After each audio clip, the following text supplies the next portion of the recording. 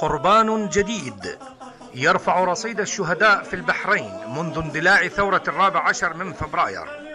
الحاج جواد الحاوي البالغ من العمر 48 عاما من جزيرة سترة. أحد ضحايا القمع المفرط لقوات النظام التي تستهدف المتظاهرين ومنازل المواطنين. وقد أثبتت عشرات التقارير الطبية العالمية خطر استخدام هذه الغازات التي أزهقت العديد من الأرواح في البحرين وصنفوها جريمة إبادة جماعية.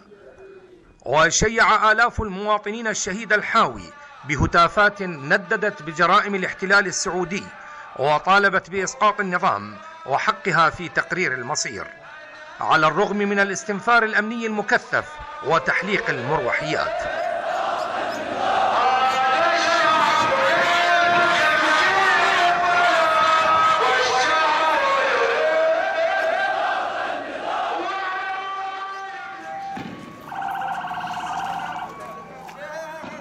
ونشبت اشتباكات بين المشيعين وقوات أمن النظام التي اعتقلت عددا من المواطنين بينما رصدت إصابات أخرى في صفوف المتظاهرين.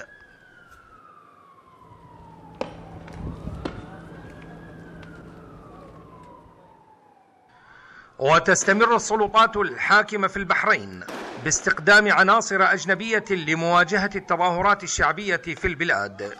ففي الوقت الذي أعلنت فيه وزارة الخارجية الباكستانية الأسبوع الماضي أن توظيف العسكريين الباكستانيين في مناطق التوتر العربية الساخنة مثل البحرين لا يمثل سياسة رسمية للحكومة الباكستانية.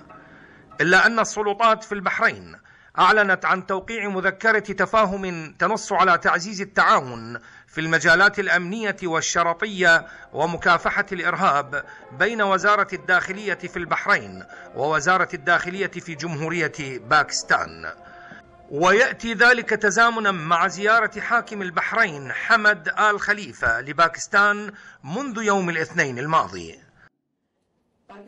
وكانت المتحدثة باسم وزارة الخارجية تسنيم أسلم. قالت في مؤتمر صحفي يوم السبت الماضي أن أولئك الذين يذهبون للعمل في القوات المسلحة بالبحرين يفعلون ذلك من تلقاء أنفسهم.